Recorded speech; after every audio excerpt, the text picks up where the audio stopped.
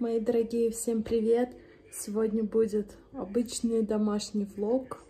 Сейчас выйду на балкон, покажу вам, какая у нас сегодня погода.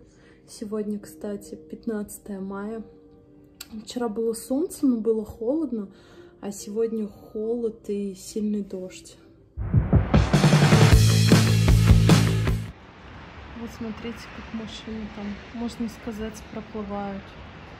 Ну, прям лужа огромная сегодня. Целый день идет мелкий такой противный дождик.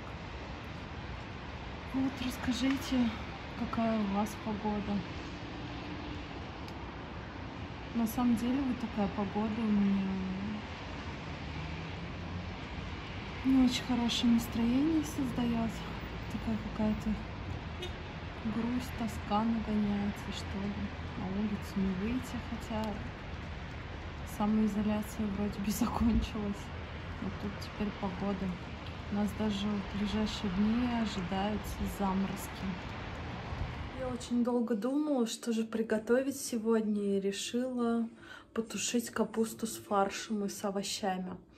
Я вообще капусту не очень люблю обычно, но вот после того, как начала готовить ее сама, и мне очень понравилось, и это стало одним из моих любимых блюд.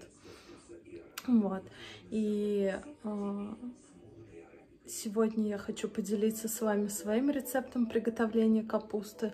Я думаю, что в таком исполнении это блюдо понравится даже тем, кто капусту не любил до этого, так же, как и я. Кстати говоря, о капусте и других овощах, мне мама дала замороженные овощи еще с прошлой осени. Это, кстати, очень удобно. А, например, капусту мы мелко там нарезаем заранее через комбайн или через терку морковку замораживаем. Я покупаю пакеты Икеи, очень хорошо. В них а, хранятся овощи очень аккуратно в морозилке. Также баклажаны, перец, все это можно заморозить. И даже в этом году я замораживала репчатый лук. Я его мелко нарезала, но вот э, в пакете из Икеи, может быть, нужно делать двойной пакет. Немножко э, был запах первые три дня от лука в морозилке, но потом как-то он примерз, и сейчас запаха вообще нет. Храню я его на полке вместе с мясом. Вот я подготовила ингредиенты. А, в красной миске у меня сама капуста. В этой миске у меня морковь и лук, сельдерей. Здесь баклажан и помидорка черри. Кстати, ее мы тоже заморозили с осени. Здесь грибы опята, а, перец болгарский и фарш. Фарш мы тоже делаем сами, раньше покупали. А, брали фирму Мираторг, вроде как он более-менее был из всех, что вообще представлено у нас в магазине. Но даже если смотреть по котлетам, формировала я котлеты, и в итоге получается, что делаешь котлету одного размера, а после жарки она уже становится в три раза меньше, то есть один жир. А жир я ну, не очень люблю и всегда убираю все прожилки, пленки, кожу с курицы.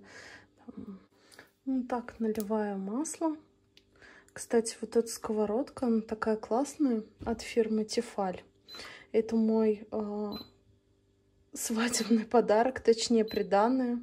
Мама мне подарила к свадьбе, и я просто не могу ей нарадоваться. У нее такие вот стенки такие очень толстые и дно.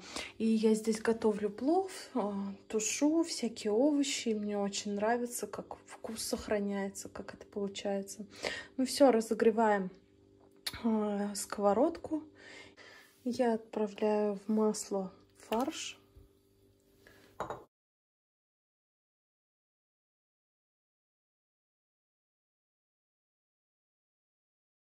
Все, добавила я капусту. А, сейчас немного прожарю ее с фаршем. Я делаю так всегда. Предварительно обжариваю, прежде чем тушить. Так мне вкус капусты нравится намного больше. Добавлю немножко водички. И буду добавлять остальные овощи, баклажан с помидоркой.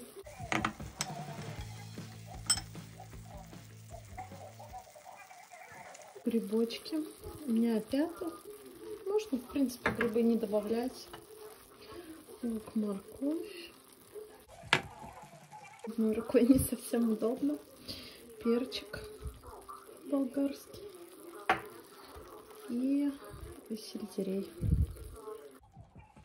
Сейчас все перемешаем.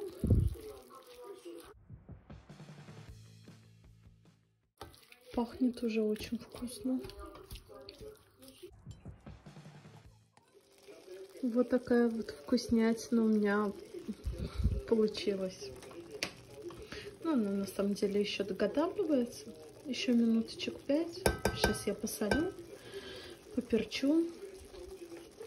И вот даже вид у нее очень красивый. У меня вот такая электрическая перечница. Мне так нравится. Так нравится с ней управлять. Она на батарейках. Такая вот прикольная. Должен был быть тут вот э, свет, лампочка. Но она почему-то с первого дня не работала. Вот. Ну, и это мне нисколечко не мешает. Крутая вещь. Еще сегодня я хочу поделиться с вами рецептом своего любимого салата. А, здесь всего три ингредиента, ну, не считая заправки. Салат очень вкусный, советую попробовать. Я обычно использую мидии фирмы «Каждый день» которые продаются в Ашане. Стоят они, по-моему, 66-67 рублей иногда. Неплохие мидии можно купить еще в пятерочке. Так, нам понадобится также лук и помидоры. Вообще в рецепте первоначально нужно снимать с помидоры кожицу, то есть обдавать их кипятком и тихонечко снимать эту кожицу.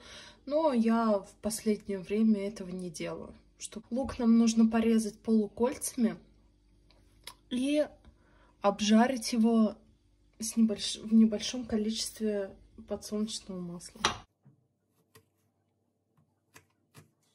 И я не очень люблю жареный лук, точнее я его вообще нигде не ем, кроме как в этом салате реально здесь он ну, приобретает какой-то невероятный вкус. И в сочетании с помидорой и мидией получается очень вкусно. Ну вот пока у меня жарится лук, я приступаю к нарезке помидоров. Помидоры нужно нарезать кубиками.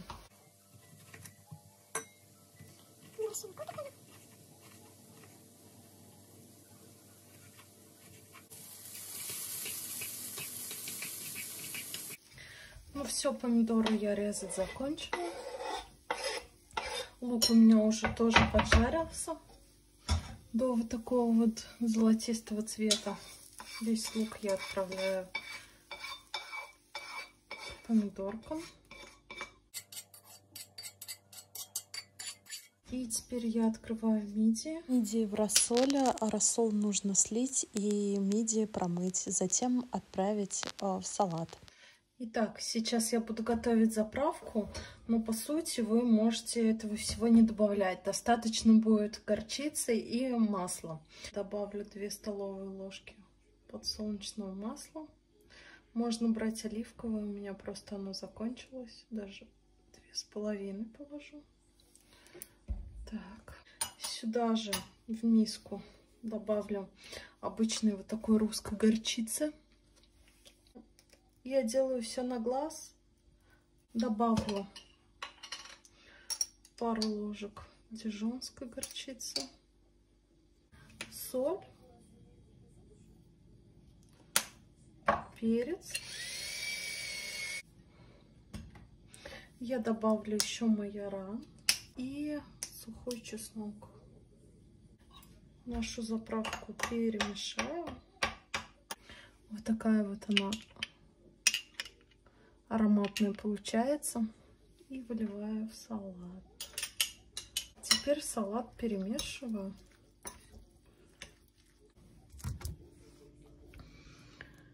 И вот такая красота и вкуснотища получилась. Я еще не встречала такого человека, кому бы этот салат не понравился. Сверху, кстати, можно добавить семена кунжута. Вот так вот это все выглядит. Я желаю всем приятного аппетита. Не забывайте оценивать это видео и подписываться на мой канал. Всем пока-пока!